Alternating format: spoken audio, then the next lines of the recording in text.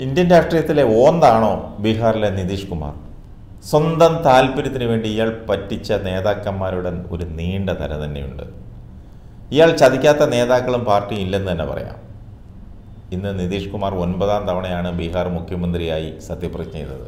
അതും B J പിയുടെ പിന്തുണയിൽ. കഴിഞ്ഞ നിയമസഭാ തെരഞ്ഞെടുപ്പിൽ ബി ജെ പി സഖ്യത്തിന്റെ ഭാഗമായിട്ടായിരുന്നു നിതീഷിന്റെ മത്സരം. ഭൂരിപക്ഷവും കിട്ടി. എന്നാൽ മുന്നണിയിലെ പ്രധാന കക്ഷി ബി ജെ പി ആയിരുന്നു.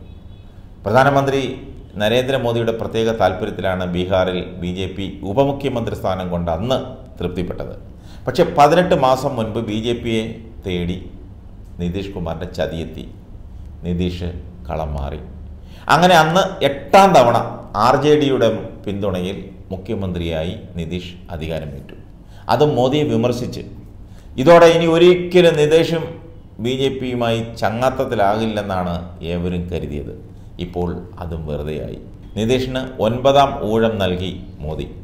അത് മുമ്പ് പറഞ്ഞതെല്ലാം മറന്നിട്ട് ബീഹാറിലെ ദളിത് സ്ത്രീ വോട്ടർമാരെ കേന്ദ്ര സർക്കാരിനൊപ്പം നിർത്താനുള്ള തന്ത്രപരമായ നീക്കമാണ് മോദി അവിടെ നടത്തിയത്. മോദിക്ക് എങ്ങനെയും അടുത്ത പ്രാവശ്യം പ്രധാനമന്ത്രിയാവണം. അതിന് ആരെയൊക്കെ കൂട്ടുപിടിക്കാമോ അവരെല്ലാം കൂട്ടുപിടിക്കുക. അതിന്റെ ഭാഗമാണ് നിതീഷിനെ വീണ്ടും കൂട്ടിയത്. പതിനെട്ട് മാസം മുമ്പ് എൻ ഡി എ സഖ്യം വിട്ട് മഹാഗഡ്ബന്ധൻ സർക്കാരിൽ മുഖ്യമന്ത്രിയായി സത്യപ്രതിജ്ഞ ചെയ്തതിന് പിന്നാലെ പ്രധാനമന്ത്രി നരേന്ദ്രമോദിയെ വെല്ലുവിളിച്ച് പലപ്പോഴും നിതീഷ് കുമാർ രംഗത്ത് വന്നിരുന്നു. മോദി ഇനി പ്രധാനമന്ത്രി ആകില്ലെന്ന് നിതീഷ് തുറന്നടിച്ചിരുന്നു. രണ്ടായിരത്തി പതിനാലിൽ അദ്ദേഹത്തിന് വിജയിക്കാൻ സാധിച്ചു എന്നാൽ രണ്ടായിരത്തി ഇരുപത്തിനാലിൽ സാധിക്കുമോ എന്നായിരുന്നു നിതീഷിന്റെ ചോദ്യം. രണ്ടായിരത്തി ഇരുപത്തിരണ്ടിലെ ഓഗസ്റ്റിൽ ജെ ഡി യു യോഗത്തിന് ശേഷം മുഖ്യമന്ത്രി സ്ഥാനം രാജിവെച്ച നിതീഷ് കുമാർ വൈകിട്ട് തേജസ്വി യാദവിനൊപ്പം ഗവർണർ ഹഗു ചൗഹാനെ കണ്ട് സർക്കാർ ഉണ്ടാക്കാൻ കത്ത് നൽകുകയായിരുന്നു. അടുത്ത ദിവസം വീണ്ടും സത്യപ്രതിജ്ഞ. ഇത്തവണ രാജിവെച്ച അന്ന് തന്നെ അതും ഒൻപതാം തവണ മുഖ്യമന്ത്രിയായുള്ള സത്യപ്രതിജ്ഞയും നടന്നു. നിതീഷ് തേജസ്വി കൂട്ടുകെട്ട് ബീഹാറിൽ രണ്ട് തവണ അധികാരത്തിലെത്തിയിരുന്നു. രണ്ടായിരത്തി പതിനഞ്ചിലായിരുന്നു നിതീഷിന്റെയും തേജസ്വിയുടെയും നേതൃത്വത്തിലുള്ള ആദ്യ മഹാസഖ്യ സർക്കാർ അധികാരത്തിൽ എത്തിയത്. രണ്ടായിരത്തി പതിനേഴ് ആർ ജെ ഡിയുമായുള്ള സഖ്യം ഉപേക്ഷിച്ച് നിതീഷ് ബി ജെ പിയുമായുള്ള ബന്ധം പുനഃസ്ഥാപിച്ചു. പിന്നീട് രണ്ടായിരത്തി ഇരുപത്തിരണ്ട് വരെ ആ സഖ്യം തുടർന്നു പിന്നെ വീണ്ടും തേജസ്വിക്കൊപ്പം സർക്കാർ ഉണ്ടാക്കി പതിനെട്ട് മാസത്തിന് ശേഷം വീണ്ടും നിതീഷ് കളം മാറി തേജസ്വിക്ക് മുഖ്യമന്ത്രി കസേരയിലുള്ള കണ്ണായിരുന്നു ഇതിന് കാരണം. തന്റെ പാർട്ടിയെ ആർ ജെ ഡി പിളർത്തുമോ എന്ന് പോലും നിതീഷ് കുമാർ കരുതി. വേണ്ടത്ര മുൻകരുതലെടുത്ത് കളം മാറി. അതാണ് നിതീഷ് മാജിക്ക് രണ്ടായിരത്തി അഞ്ചിന് ശേഷമുള്ള ബീഹാർ നിയമസഭാ തെരഞ്ഞെടുപ്പിൽ നിതീഷ് എവിടെയാണോ ആ സഖ്യത്തിനായിരുന്നു വിജയം. മോദി പ്രഭാവം ആഞ്ഞടിച്ച രണ്ടായിരത്തി പതിനാലിലെ ലോക്സഭാ തെരഞ്ഞെടുപ്പിൽ ബി ജെ പി വിരുദ്ധ മുന്നണിയിലായിരുന്നു നിതീഷ്. അന്ന് മോദി ബീഹാർ തൂത്തുവാരി എന്നത് മാത്രമാണ് ഇതിനിടയിലെ ഏക തിരിച്ചടി.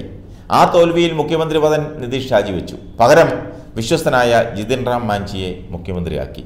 പിന്നീട് മാഞ്ചിയും നിതീഷും തെറ്റി. ഇന്ന് മാഞ്ചി എൻ ഡി എയുടെ പക്ഷത്താണ്. മാഞ്ചി നിതീഷും വീണ്ടും ഒരു പക്ഷത്ത് എത്തുന്നു എന്നതും ഇത്തവണത്തെ ശ്രദ്ധേയമായ ചിത്രമാണ്. നിറമാറുന്ന ഓന്തിനെ പോലും നിതീഷ് തോൽപ്പിക്കുമെന്നാണ് കോൺഗ്രസ് പ്രതികരിച്ചത്. ഈ ചാട്ടം ലോക്സഭയിലെ ജനവിധി ബി ജെ പിക്ക് അനുകൂലമാക്കുമോ എന്നതാണ് ഇനി കണ്ടറിയേണ്ടത്. ജെ പിയുടെ പിന്തുടർച്ചക്കാരനായി വന്നതാണ് നിതീഷ്. കറകളഞ്ഞ സോഷ്യലിസ്റ്റാണെന്നാണ് ധാരണ. ആയിരത്തി തൊള്ളായിരത്തി തൊണ്ണൂറ്റി നാലിൽ ജനതാ പാർട്ടി പിളർത്തി ഇദ്ദേഹം ജോർജ് ഫെർണാണ്ടസുമായി ചേർന്ന് സമതാ പാർട്ടി ഉണ്ടാക്കി. തൊള്ളായിരത്തി തൊണ്ണൂറ്റിയേഴിൽ ലാലുവിനെതിരെ കാലിത്തീറ്റ കുംഭകോണം പുറപ്പെട്ടപ്പോൾ ജനതാദളിൽ ശരത് യാദവ് ഇടയുന്നു.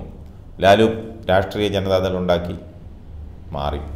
പിന്നീട് രണ്ടായിരത്തി മൂന്നിൽ ശരത് യാദവിന്റെ ജനതാദളും സമതാ പാർട്ടിയിലെ ബഹുഭൂരിപക്ഷം പേരും ലയിച്ച് ഒരൊറ്റ പാർട്ടിയായതാണ് ജനതാദൾ യുണൈറ്റഡ് അഥവാ ജെ ഡി യു. അതിന്റെ ഭാഗമാണ് ഇന്നും നിതീഷ് കുമാർ. തൊള്ളായിരത്തി തൊണ്ണൂറ്റി എട്ട് തൊണ്ണൂറ്റൊമ്പത് കാലത്ത് വാജ്പേയി സർക്കാരിൽ റെയിൽവേ ഗതാഗത മന്ത്രിയായിരുന്നു നിതീഷ്. പിന്നീട് കൃഷി വകുപ്പിലും മന്ത്രിയായി. തൊള്ളായിരത്തി തൊണ്ണൂറ്റൊമ്പതിൽ ഗേൽസിലിൽ മുന്നൂറോളം പേരുടെ മരണത്തിനിടയാക്കിയ ട്രെയിൻ അപകടം. അതുണ്ടായപ്പോൾ മന്ത്രി എന്ന നിലയിൽ അതിന്റെ ധാർമ്മിക ഉത്തരവാദിത്വം ഏറ്റെടുത്ത് രാജിവെച്ചിറങ്ങി. അന്നത് വലിയ സംഭവമായിരുന്നു. വിദേശ മാധ്യമങ്ങൾ പോലും അത് വാർത്തയാക്കി. ലാൽ ബഹദൂർ ശാസ്ത്രിക്ക് ശേഷം ഒരു നേതാവ് ധാർമ്മിക പ്രശ്നം ഏറ്റെടുത്ത് രാജിവെക്കുന്നത് ഇന്ത്യൻ രാഷ്ട്രീയത്തിൽ ആദ്യവും അവസാനവും ആയിരുന്നു. രണ്ടായിരത്തി ഒന്നിൽ വീണ്ടും റെയിൽവേ മന്ത്രിയായി തിരിച്ചു വന്നു. രണ്ടായിരത്തി നാല് മെയ് വരെ അത് തുടർന്നു. രണ്ടായിരത്തിൽ വെറും ഏഴ് ദിവസത്തേക്ക് ബീഹാർ മുഖ്യമന്ത്രിയായിരുന്നു. അതിനിടയിലാണ്. അന്ന് ഭൂരിപക്ഷം തെളിയിക്കാൻ സാധിക്കാത്തത് കൊണ്ട് ഒരാഴ്ച പോലും തികയ്ക്കാതെ ഇറങ്ങിപ്പോകേണ്ടി വന്നു. അഞ്ച് വർഷത്തിന് ശേഷം രണ്ടായിരത്തി അഞ്ച് നവംബറിൽ നടന്ന തെരഞ്ഞെടുപ്പിൽ B J P J D U സഖ്യം ലാലു പ്രസാദ് യാദവിന്റെ രാഷ്ട്രീയ ജനതാദളിനെ തോൽപ്പിച്ചു. നിതീഷ് കുമാർ ബീഹാറിന്റെ മുഖ്യമന്ത്രിയായി. രണ്ടായിരത്തി പത്തിൽ വീണ്ടും ജയിച്ച് മുഖ്യമന്ത്രിയായെങ്കിലും നരേന്ദ്രമോദിയെ എൻ ഡി എ പ്രധാനമന്ത്രി സ്ഥാനാർത്ഥിയാക്കിയതിൽ പ്രതിഷേധിച്ച് ബി ജെ പിയുമായുള്ള സഖ്യം അവസാനിപ്പിച്ചു. രണ്ടായിരത്തി പതിനഞ്ചിലെ തെരഞ്ഞെടുപ്പിൽ ആർ ജെ ഡി കോൺഗ്രസ് സഖ്യത്തിൽ വീണ്ടും മത്സരിച്ച് മുഖ്യമന്ത്രി പദം നിലനിർത്തി. രണ്ടായിരത്തി പതിനേഴിൽ ആർ ജെ ഡിയുമായുള്ള കൂട്ട് വെട്ടി വീണ്ടും എൻ ഡിയുടെ കൂടെ കൂടി. അങ്ങനെ സഖ്യങ്ങൾ മാറിയും മറിഞ്ഞും കഴിഞ്ഞ രണ്ട് പതിറ്റാണ്ടായി നിതീഷ് കുമാർ തന്നെയാണ് ബീഹാറിന്റെ മുഖ്യമന്ത്രി. കാലുമാറുന്നതിനും ആരെയും തട്ടി വീഴ്ത്തുന്നതിനും കസേര ഉറപ്പിക്കുന്നതിനും ഒരു മടിയും കാണിക്കാത്ത ആളാണ് നിതീഷ്. ഇത്രയും ചതിക്കുന്ന ഒരാൾ ഭൂമിയിൽ വേറെ ആരും കാണില്ല. ഒരു നിലപാടുമില്ലാത്ത സ്വാർത്ഥമോഹിയാണ് നിതീഷ്. അതായത് അത് തെളിയിച്ചുകൊണ്ടിരിക്കുകയാണ്.